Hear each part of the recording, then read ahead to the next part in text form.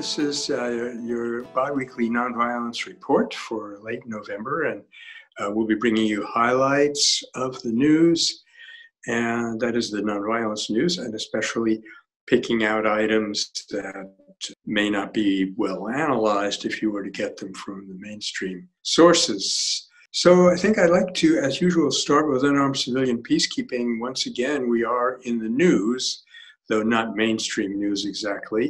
There was an article in the journal Sojourners, Christian magazine. It's by Jessica Skelly, and it's called Stop Rumors, Stop Violence How Unarmed Protectors Keep Us Safe. And it's an in depth report on how well we did in protecting the recent election. I might just mention that stopping rumors is one of the most effective things that nonviolent interveners do.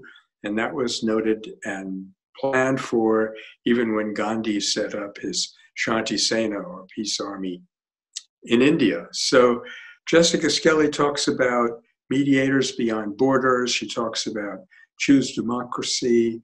She talks about DC peace teams. We're going to mention a little bit more about that. And she talks about hold the line and all these other groups which really worked wonderfully together to provide a secure environment in which people could vote. So very, very mainstream for our democracy. And I want to just read you one quote from her article. All of these initiatives are part of a sophisticated movement to use disciplined nonviolence to protect our democracy.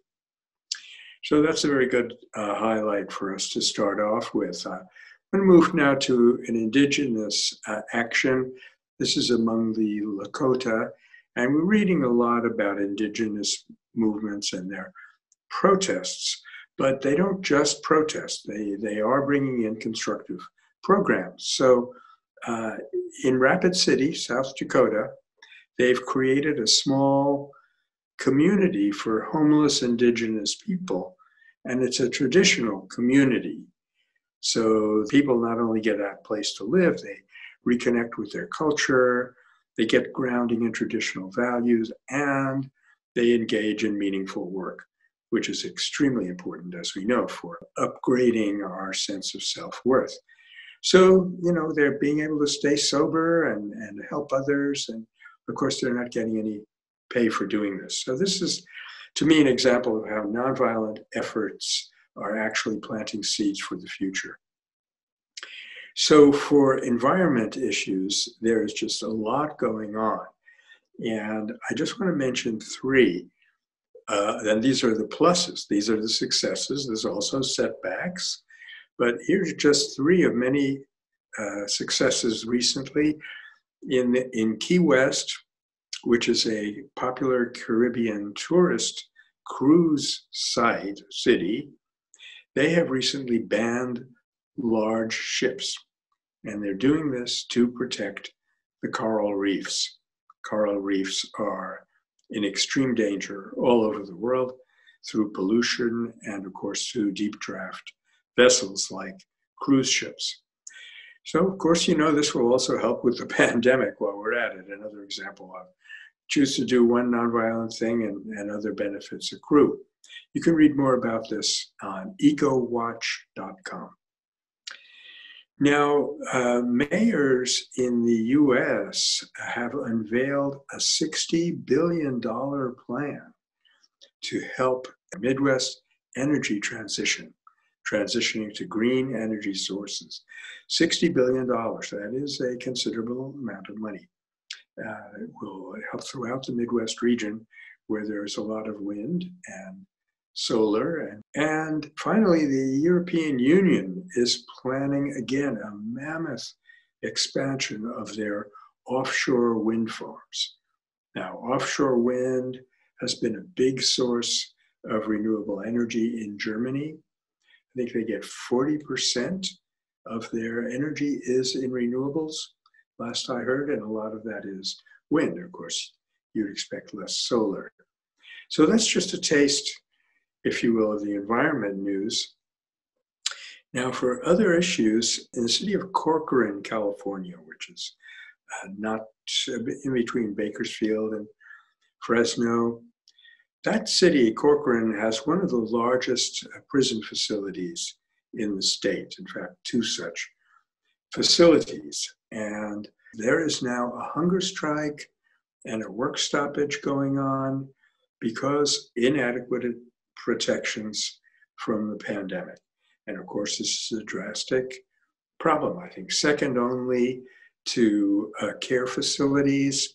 It's in prisons where we're seeing almost like, uh, you know, what shall I say, a kind of massacre of the pandemic. So this particular facility in Corcoran is operating at 130% capacity.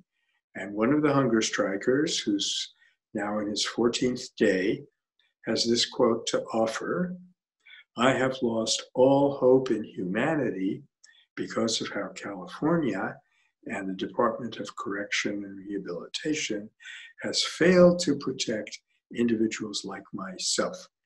Name is David Cawthon. He's 32 years old. And as I say, he's on his 14th day of his hunger strike. So again, I want to highlight, highlight that um, profound human issue that it touches upon. Of course, uh, you know, the, what were they to do? Uh, the prison authorities, they didn't have space to ship people out. You can't just put people out on the street who have been incarcerated, though in some cases a lot of that was done. Um, but I, I think that's a profound comment for us to think about.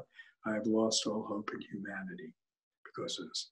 Possibly an exaggeration, of course, but it does touch on the way that nonviolence drills down to very basic issues. You can get more about this uh, on the website of the Oakland Abolition and Solidarity organization, uh, or watch them on Twitter at Oakland ABOSOL.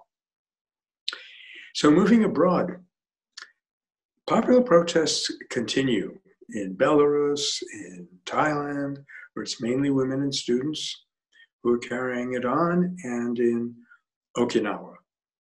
So to take Okinawa first, every day, except for typhoon days and so forth, but even during the pandemic, charter buses go to particular sites on the island of Okinawa where the Japanese government is trying to build a super airbase for the US Marines. And what these people do is various kinds of obstruction. They, and in one particular example of that, they're using kayaks to cluster around the bow of a ship and prevent it for a while from moving out. So it's slowing down. It's like a like a work stoppage uh, caused by other people. So this reminds us of the kayak activism that took place up in Washington State and successfully delayed the launch of uh, an oil exploration rig until it was too late for them to sail, and so they they put put off exploration out at sea there for a year. Uh, but you know, uh, this reminds me very much of the Jeju Island protests in South Korea, where once again the issue was uh, Asian government trying to do something that's harmful to the environment and to people. In the case of Jeju, it actually was a sacred uh, mountain that was being destroyed uh, for the sake of the US military. And these protests, again, were kind of scripted. You go out there, you sit down, you block things up for a while, you get arrested, you get hauled away, and uh, and and it just continues. So you slow things down, you don't stop them. And this caused me to wonder whether we shouldn't be taking this issue up in our country because we it's our military that's doing this, and we can go through Congress through representatives and get them to stop some of these destructive actions. So, so much for Okinawa. It's an interesting thing to watch. Now, in Thailand, the protests are continuing, and one of the examples of how they're doing it now is something, a song called Rap Against Dictatorship. And it has become a powerful way to spread the word on these protests. Uh, they made a music video hit with over 5 million views.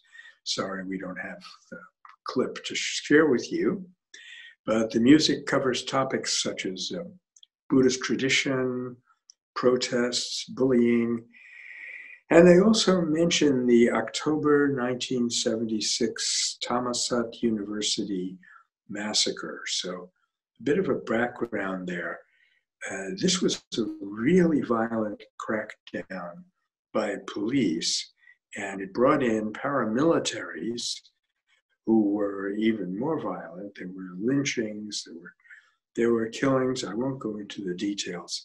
The official reports state that 46 students were killed and 167 wounded. Unofficial reports much higher than that, as you might expect.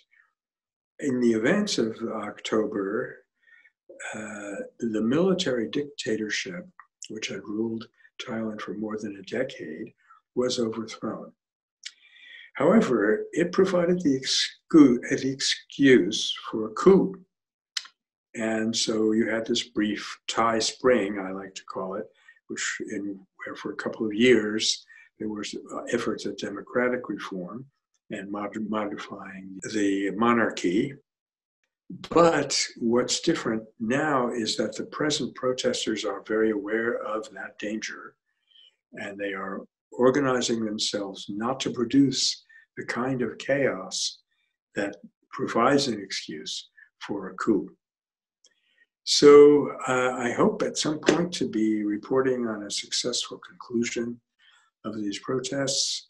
Up to now, they're staying very nonviolent, both of them, Okinawa and Thailand. At least uh, what we call non-dash violent, that is, people are not using violence. Uh, they may not be getting into both the deeper grounding, the deeper commitment personally, though I suspect a lot of those people are, and I'm not getting into the wider array of techniques, though in Thailand that does seem to be improving some. So that is about all of the news events I had to share with you uh, on this episode, and I'd like to talk about some resources. Uh, on December 8th, there will be a webinar called How to Fight and Win with Humor. And I want to make a comment. Uh, humor is definitely a nonviolent method, and it's a great diffuser of tensions think of one famous episode where our friend Karen Ridd from PBI, Peace Brigades International thing. Karen Ridd from Peace Brigades International was stopped at a checkpoint in Central America, and the guards would not let her through. Turns out that Karen was a professional clown.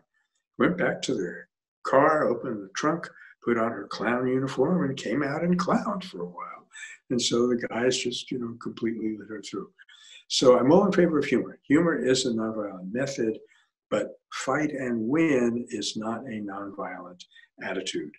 So, you know, check out that webinar, but you think, I think you may find it's a bit of a mixed bag.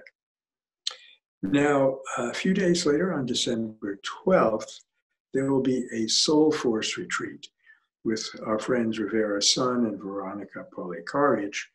And this is organized both by Campaign Nonviolence and Pace Bene.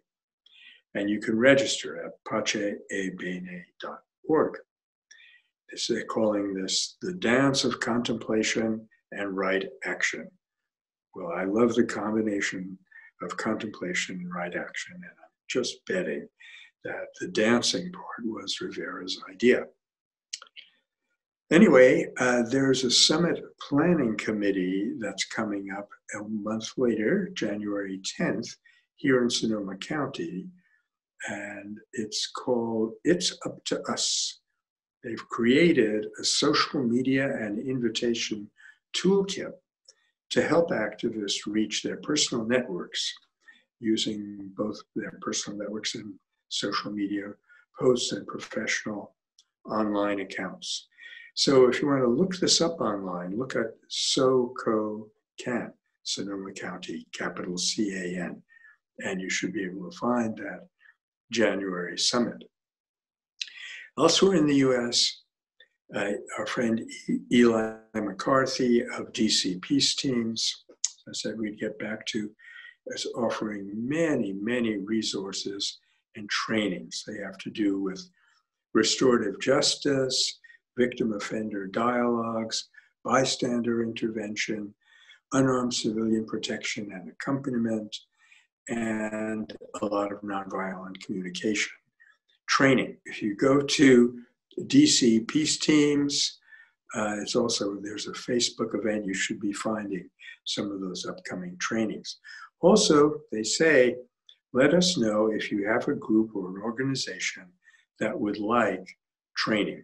And this is, you know, we saw how effective this was in mobilizing teams fairly quickly to protect uh, the election. And it's a kind of training which I think all of us can benefit from and do a lot of good with. So then let me close uh, today's episode by just mentioning a couple of things about the Metta Center. Uh, in a couple of days, our month as Film of the Month on Tricycle Magazine's Film Club will be ending. But on December 10th, which is Human Rights Day, the Stanford Arts Program will be rescreening our film, The Third Harmony. That'll be Thursday, December 10th from 4 to 5 p.m. And these are the same organizers who put on the highly successful United Nations Association Film Festival, had our film in it, and uh, they'll be rescreening it again with some kind of panel. They're hoping to get Rajmohan Gandhi uh, to be on it, and uh, we will keep you posted about that. And I might just mention that uh, the Metta Center is moving to a newer and better office suite on the first of the year. So here's hoping that the pandemic will end. You'll be able to come and visit us at 205 Keller Street in Petaluma. So that was today's episode, everybody. Thank you very much for listening and watching, and I'll be with you again in, in a week.